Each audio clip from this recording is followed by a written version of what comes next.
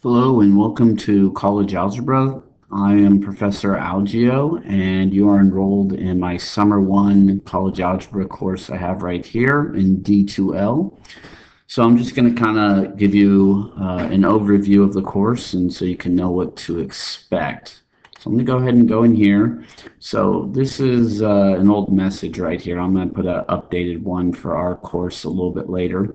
But go ahead, you'd want to click on content when you get in here. And really, there's not much to my D2L um, uh, page here, but it, it has everything you need though. So the first thing we have is the syllabus, and then we have a calendar, which will be really important. And then there's instructions on how to register for the platform that we're going to be completing our exams and our homework. So everything's going to be done on a program called My Math Lab, and I'm going to show that to you also in this video. And then the last link is to get to my videos and notes. And so we'll, we'll take a look at all these. So we'll go ahead and start with the syllabus. If you click on this, it will open a window, but I already have it open right here. So let's go ahead and look at this. I'll enlarge this. Okay, so here we are, summer 2021. We're in section 1501. Here's my email address. You can contact me through D2L, but uh, this email I check a little bit more often. So this I have this on my phone, so I'm checking it on my phone periodically throughout the day. So this is the best way to get a hold of me, but not the only way. As far as office hours are concerned, since we're in the online format, all you have to do is make a request, and I'll be more than happy to meet up with you on WebEx, and I'll I'll send out that link um, if you make that request, and we can meet up on WebEx. I will tell you the most popular way, though, for students to interact with me is they typically will email me their questions or you know send me a screenshot. And even better, I'm going to show you in my math lab how you can email me directly through my math lab and it's very simple and I can send you back a tutorial video giving a detailed explanation of whatever problem might be giving you trouble. So we'll look at that a little bit closer when we look at my math lab. Okay, so college algebra, you've either were placed here from TSI or you completed one of these other courses in order to be prepared for this course.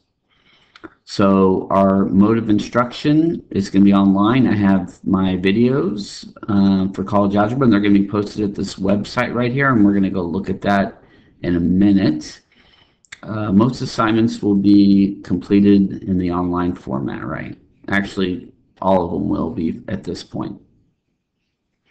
So as far as the book's concerned, you don't need a physical book. You just need access to My Math Lab and this is kind of the details for that. But really, this won't really matter because I have uh, I have those directions posted in D2L, and I'll show that to you in a minute. If you really want the book, you can get it, but with the My Math Lab purchase, you'll have a digital copy of the book, so there's really no need unless you really feel you need that physical copy. So the way you'll register, here's going to be some instructions, but really the instructions in D2L will probably even be a little bit easier than this, but basically this is going to be our course ID to register for the class. And so as you can see, it's going to be $69.99. You you um, you can get a two-week free trial. So if you don't have the money right away, that's okay. You can actually get so there's no reason not to get started. So don't don't email me and say I'm waiting to get paid or whatever might be the issue. Just go ahead and get started. You don't have to wait. And I'll, once again, I'll kind of walk you through that. Um, and actually, there's a part right here about this temporary access can be gained. Okay. What they do is when you get to the part where it's time to pay, there's a very small link towards the bottom of the page that basically asks you if you want to do a 14 day trial. So make sure you can go ahead and do that. So don't wait if you're waiting on some funds to pay for pay for that. Okay, as far as calculators, you know, a four function is great. Scientific calculator, which you're using in your science courses, that'll be fine. If you have a graphing, that's okay too. Um, but I don't want you to go spend that money. These are going to be fine. And uh, here's some links to some free calculators that you can also use if you'd like. Okay. The purpose of this course, obviously, most graduation plans require it. And then here we go. So here's our major course outcomes. I'm not going to read these, but if you look over them and you have questions, feel free to you know send me an email. Evaluation, that's probably the part that you're most concerned about. How am I going to be evaluated?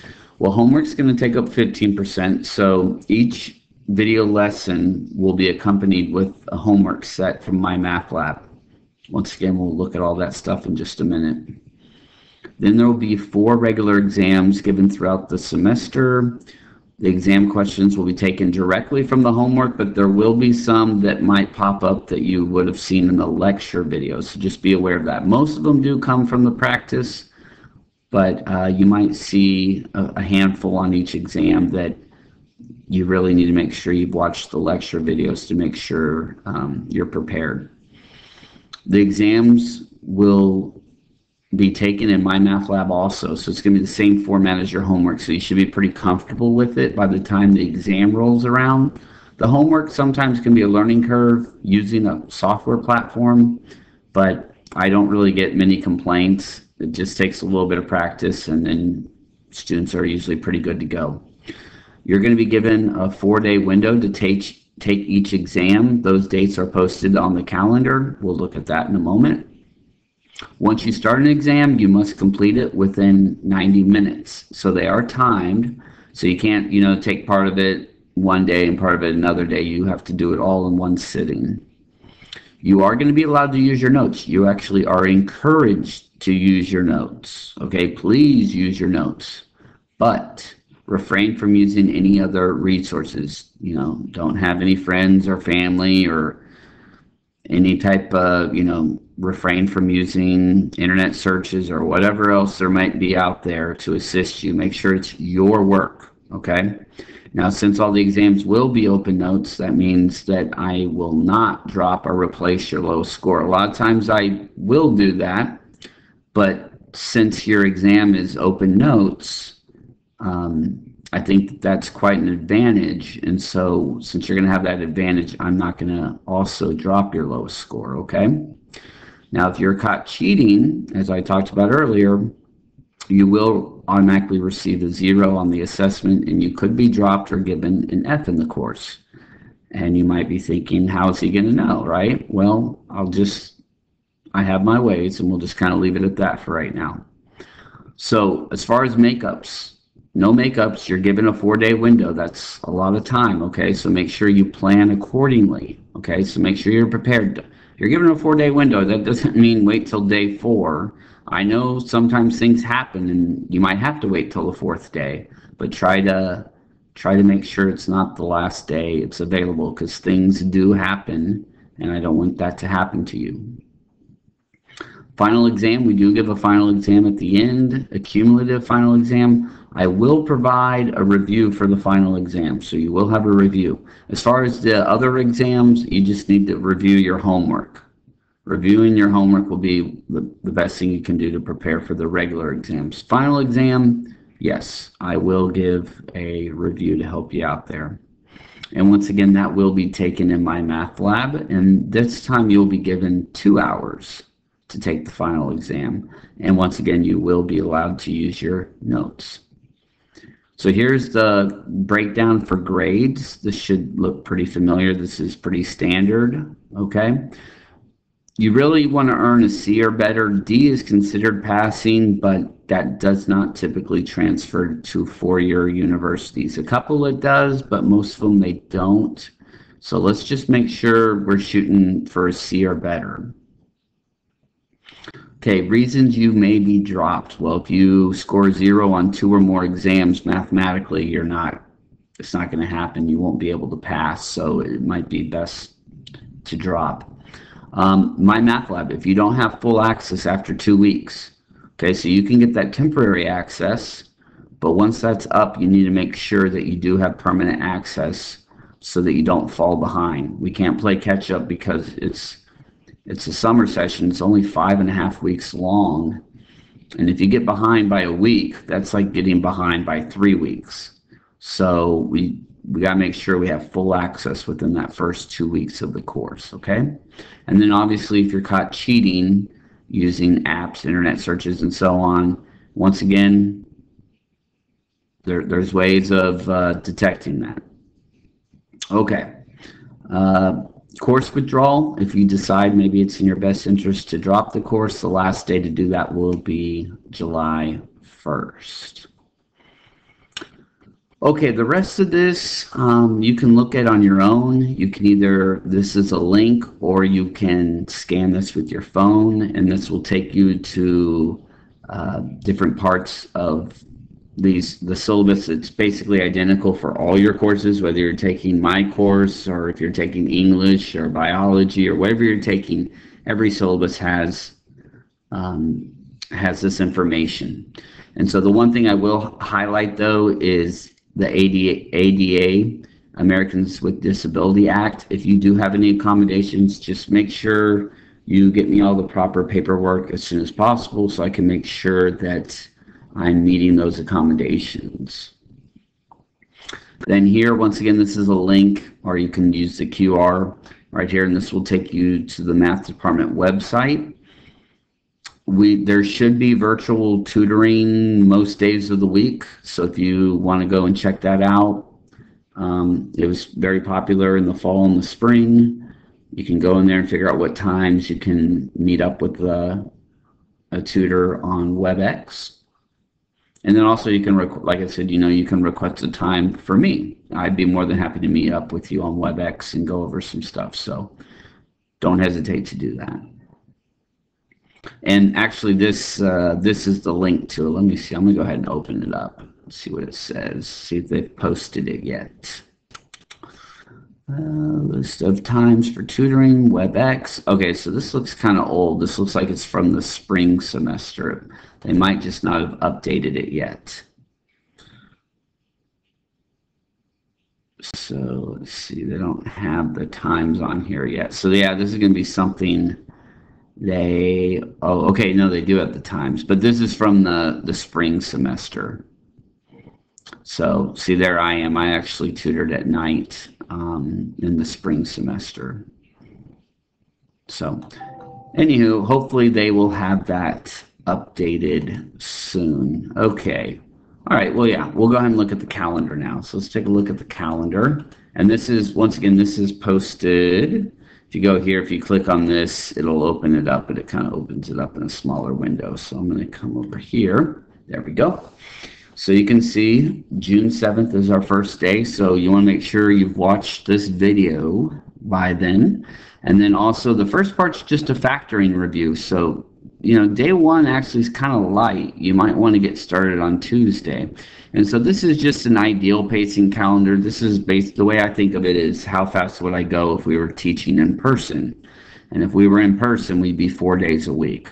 And so it would take me till about Monday, June 14th to finish the first unit of notes.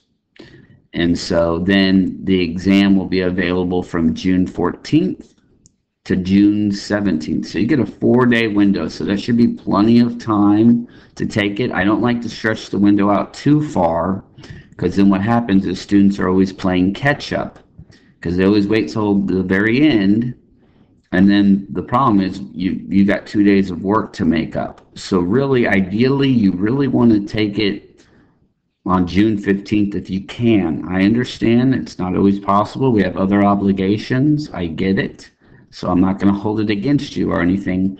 But the idea is to try to take it on June 15th. And if not, you know, take it on one of these other days. But then on the weekend, you know, Friday, Saturday, Sunday, you might have to play a little catch up to get back on track, okay? So, you know, you can kind of play around with the days, but what we can't play around with is the due dates. And then also the homework for Unit 1 is going to be due on June 15th. So make sure you get all that homework done by the 15th. So really the best thing to do is just make sure you're setting aside a couple hours each day because if we were meeting in person, it would be about two hours a day and then you'd probably have at least two hours of homework, right? So this, this is a stout class. It, it takes a lot of time, so just be prepared. Then our second unit you can see here is going to be due, the homework's due on the 23rd. Once again, I'll give you a four day window for the home, uh, for the exam. Same thing for unit three and then uh, unit four. So the last day to drop is July 1st. So you might want to take your exam, you know, by July 1st so you have a pretty good idea of where you stand in the class to kind of make a an educated decision of whether you want to drop or not. And I hope you, you know, I don't want anybody to drop, but sometimes that's your best option. So it's there for you. Um, and if you have any questions, you know, feel free to email me and ask me, you know, what do I have to, you know, don't don't email me too early on, but towards the end you can email me and ask, you know, what do I need to pass or whatever, what do I need to make on the last exam or the final exam and so on. That That's fine. Okay, let's see. So that's the calendar. There is, after Unit 4, there is one new assignment. It's fairly short. It's not It's not a long, just no. The video is probably 20, 25 minutes, and the lesson, I think, is only uh, six questions. So that's the calendar. All right, so let's see, what do we have next? Next is probably going to be my math lab, which will be a big part of the course. Okay, so this is registration instructions. So if you click on this, it'll actually give you a link to my math lab, and then you have to enter in the course ID right here. So if you click on my math lab, and then if you already have an, excuse me, if you already have an account, you can sign in. If not, go ahead and register an account. And like I said, as you're going through the process, when it gets to your payment options, if you look at the bottom of the page, um, there should be a link to activate a 14-day trial. And so feel free to do that. Okay, I'm going to go to my math lab because I've already got, I'm already logged in. Here's our class right here. Algeo Math 1314 online summer 2021. So I'm going to go ahead and click on it and it should look pretty much like this when you go in there. So here's my home page. There are no grades yet, okay? Here's my assignments, and here's the due dates. So see, all that homework's not due until the 15th. Don't wait till the 15th, but there's your assignments. And you can click on homework if you'd like, and it'll pop up, and there's all the unit homework. And it looks, you know, it looks like a lot. It's nine assignments.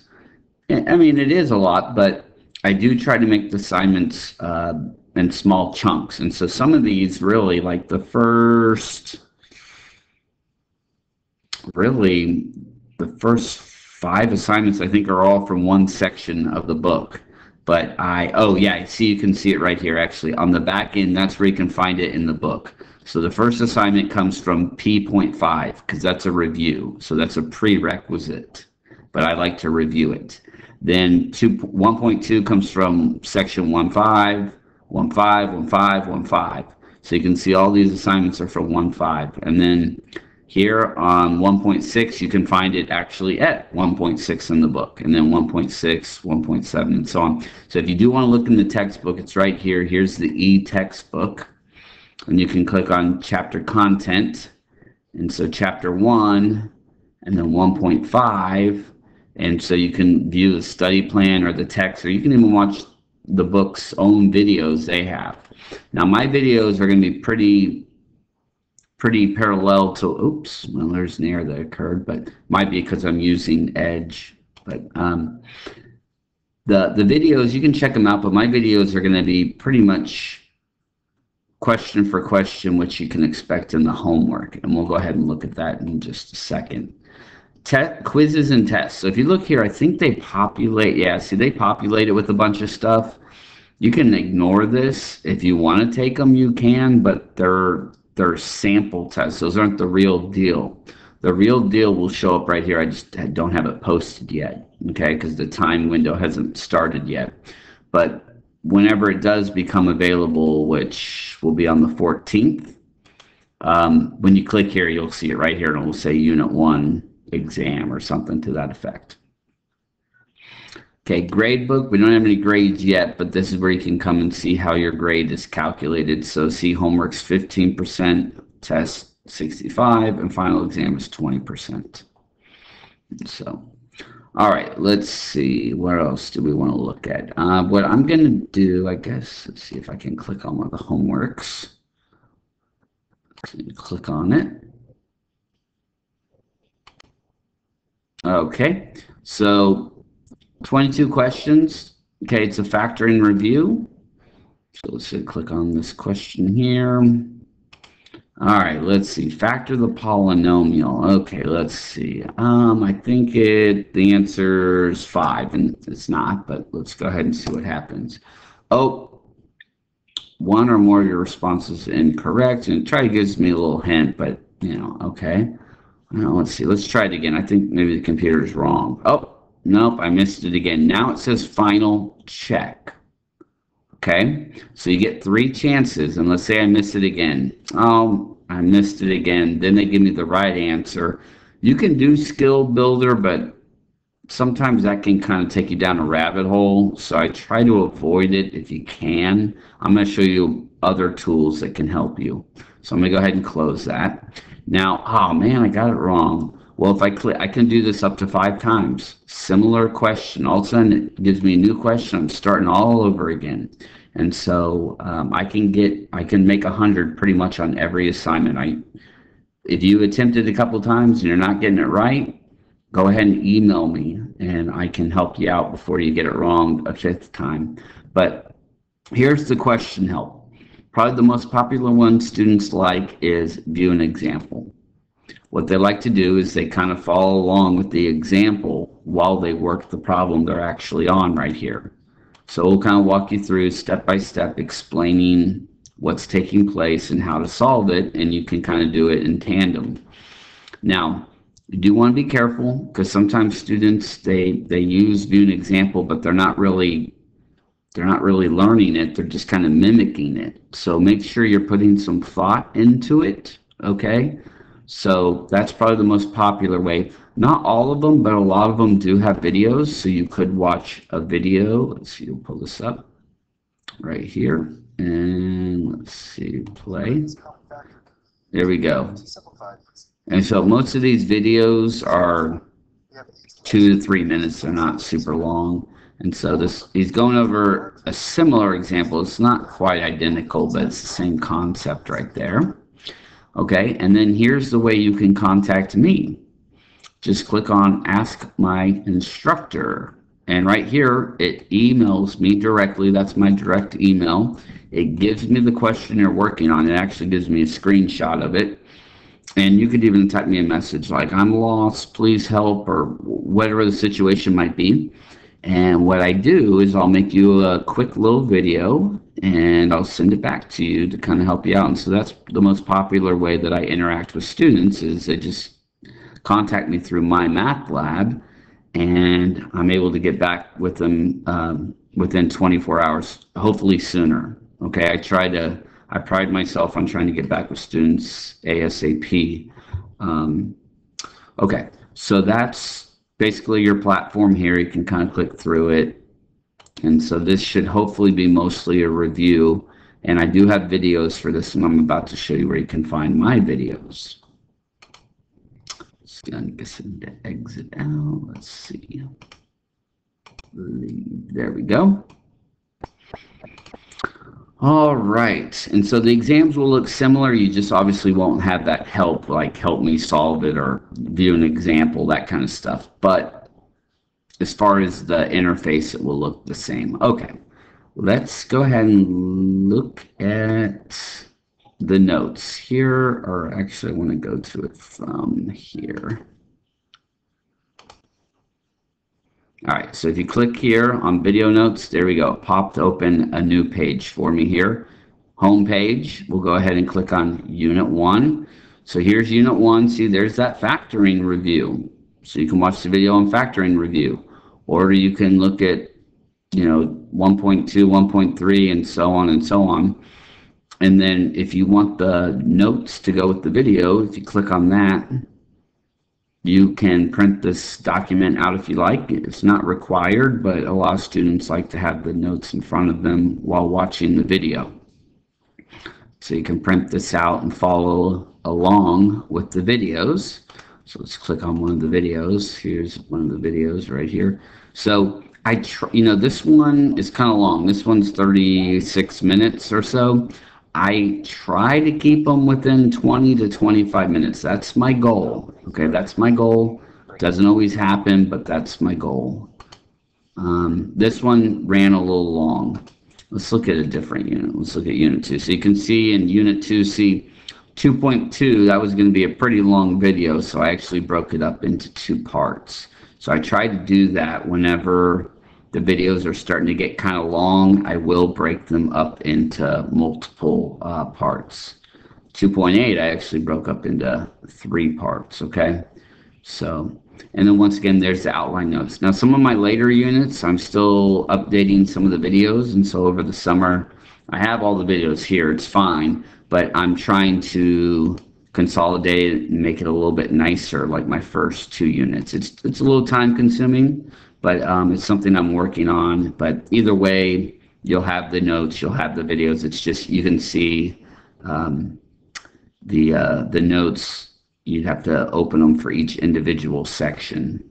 And so, anyways, something I'll be working on over the summer. So hopefully by the time we get to unit three, that'll be all cleaned up and we'll look like our first couple units right here. So I think that's about it for now. But you know, don't don't hesitate to contact me. It's always better to contact me right away instead of letting something uh, kind of fester, because then you know, we don't want to be a, a couple days into class and you're unsure about something, have a register for my math lab or whatever might be the issue. Just make sure we get that knocked out as soon as possible. And I look forward to working with you all. And all you have to do is reach out, and I'll be more than happy to meet up with you on WebEx or send you some videos, some extra videos. And um, all right.